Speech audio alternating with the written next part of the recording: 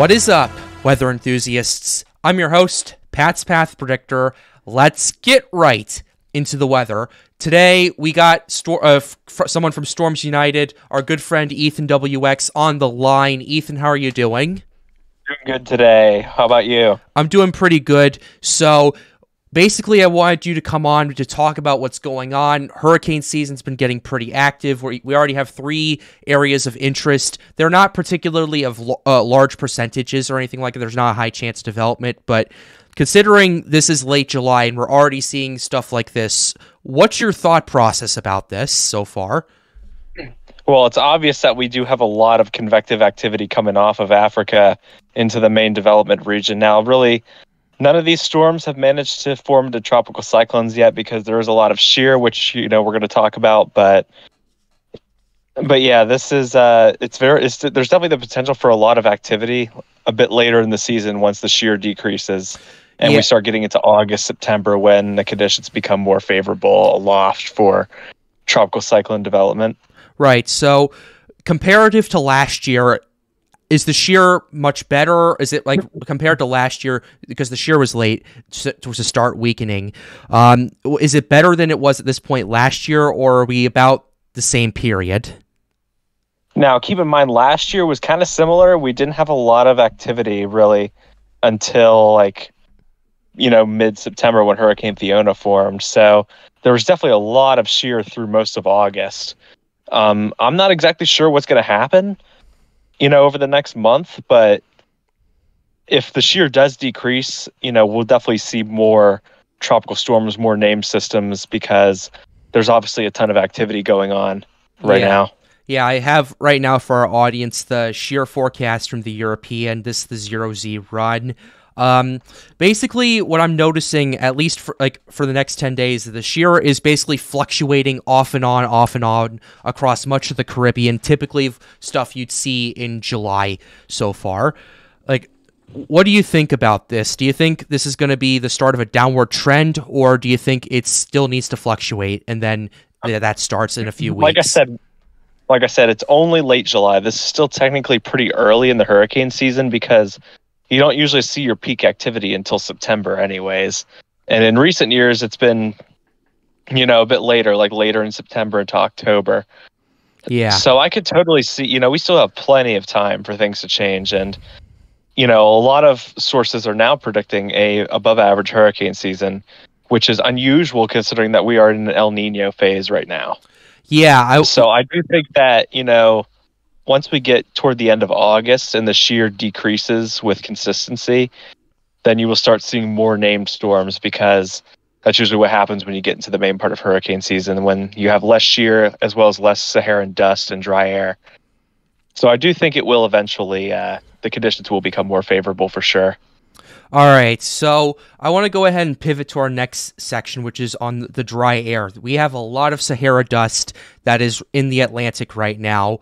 Um, what's your take on all uh, this Sahara dust, and when could we start seeing that last line of defense start breaking? Yeah, so that's definitely gonna, you know, pre- it's definitely gonna hurt the chances for any of these systems that are currently out there. Because let's see, we got three disturbances that the NHC is tracking. You know, one of them is just off the coast of Africa, zero percent for the next 48 hours, 20 percent for the next seven days and then we got another one that's 10 10 and another one kind of in between the bahamas and bermuda that's 0 10 and the saharan dust kind of covers a big part of the basin right now so at the moment yeah it's going to definitely impede any development of these systems. I don't think any of them will form although the one that's off the coast of africa right now there are some long range model runs that have that forming into a significant tropical cyclone as it moves further east. Right. So right so sorry to interrupt, but I have the GFS pulled up. The 12Z run, in my opinion, really goes off on a limb. And by four, six days out, it has this thing strengthening into a hurricane at the basically the point where this is supposed to even develop in the first place. Um, a lot of people I've been talking to, they've been then looking at the GFS and they're like, "Oh my God, what's go- uh, going on? Should we look at this uh, model without a grain of salt?" What's your take on this? Yeah, now you notice if you look at the European model, you don't even see that system there. Yeah, so we're pulling that up right now. So I'd say right now, uh, uh, the GFS has definitely been showing that that tropical cyclone for a while now, but like I said, it, the other models aren't really catching on to it, and it's still pretty far out. If the European was showing that too, it's it would definitely be something we would want to look at. All if right. you're talking about disturbance three, that was just marked earlier today. Yeah, that was. Uh, yeah, that's ladies and gentlemen. That is Cat on the line. Um, yeah, this was something that really popped up. The NHC actually delayed their whole uh, update out until after 2 p.m. Eastern time because they were seeing this. And this is, like I said earlier, something that we've been keeping an eye on all across the community. Now, the last thing I want to go ahead and get to is the ridiculous global sea temperatures we have been seeing across the Gulf, across the Bahamas, across pretty much all of the Atlantic. And I'm not sure if you saw this, but we have an unconfirmed report of over 100 degrees Fahrenheit of a water temperature in the near the Florida uh, near the Florida Keys off the Everglades.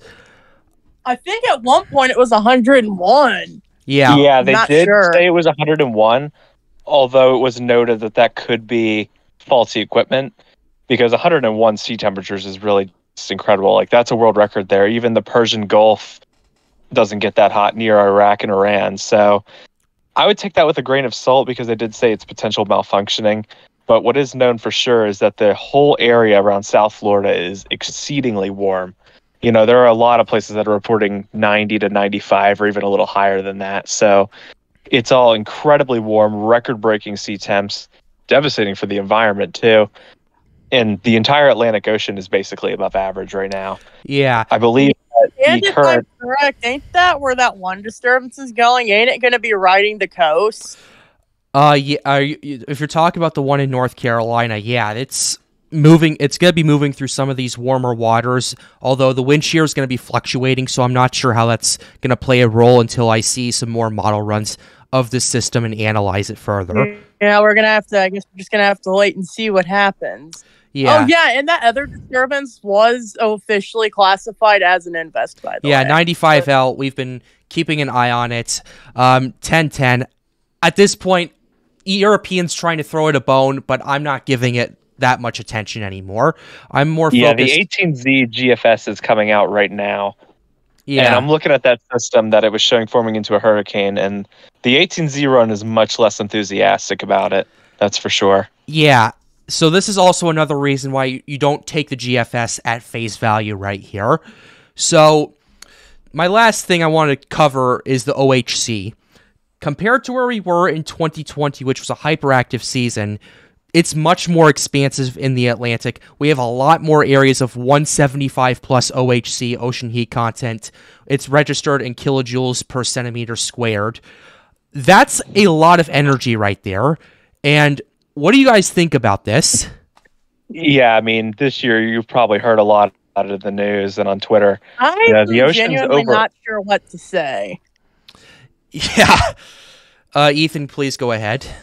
Yeah, as, as I was saying, the ocean, the Atlantic Ocean as a whole is just record-breaking temperatures this year all around.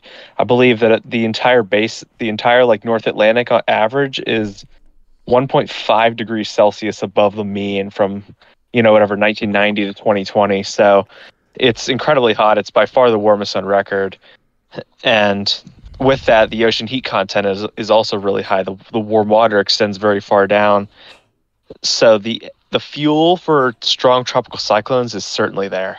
Once we get past the shear, the Saharan dust, I have no doubt that there will be a lot of activity come September.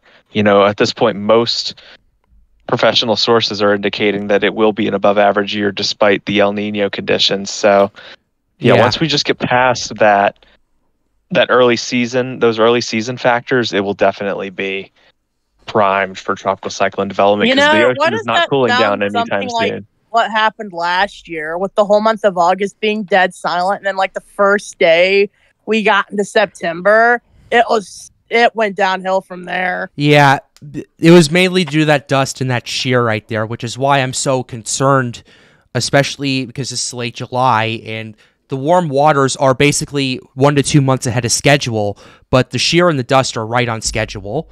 So that's my concern with all this. My last question to you guys is whether you want to estimate or not, how many storms do you think we're going to get from this?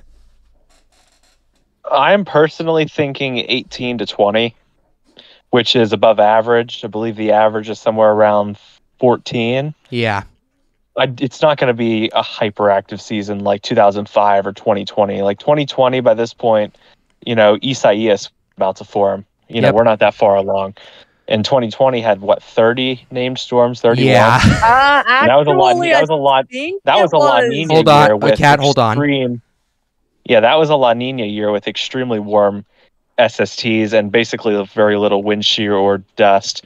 This year, the dust and the shear are definitely there, but you know, once we get past that, I think September will be a very active month. Probably from late August through October, that whole time frame is going to be pretty active, and it's going to be a surprise to people Yeah. who expect it to be less active since we're in El Nino. Yeah. Uh, Cat, what do you th- uh, what do you think about uh, how many storms could you estimate from this? honestly, I can agree with Ethan on that. Yeah. All right. What, what you? Sorry, I cut you off for a second. What were you trying to add add in? I was gonna say how with 2020, I think we had like close to 30 named storms that year. Yeah. Yeah. I don't. What is, you know, with 2020, I personally is what I think is interesting is there was not one storm that was missed that was not named. we even got into the Greek alphabet with Uh, that. yeah, we went we we got all the way to Iota. and We would have had another one. yeah. So that pretty much. Yeah, we got we had 30 named storm, which w- storms, which was a record, as well as seven major hurricanes, and that was a record tied with 2005. yeah. This year is not going to be that active. I would think 18 named storms, probably half as many hur- hurricanes, and then maybe four, three, or three to four, maybe five major hurricanes, All right. depending on exactly how things play out by September. All well, right. with this year, we've already had a hurricane that I don't think was forecasted to become a hurricane. Yeah, we had Don that was in the subtropical Atlantic that in July became a hurricane. So it may be a big indicator. We're not sure. We'll continue to update you here on the Pat's Path Predictor channel. Thank you, uh, guys, for coming on. Uh, I'll link their channels down below. If you guys want to come hang out with us or talk about weather on Storms United, link up for the server is right over there. But with that being said, we're going to go ahead and wrap up this video right here. I hope you enjoyed it. Be sure to leave a like and subscribe to the channel if you are new. It helps us out, helps us make more videos like these. The goal of this channel is to get more people engaged with weather. Well, with that being said, have a wonderful day, guys. Stay safe.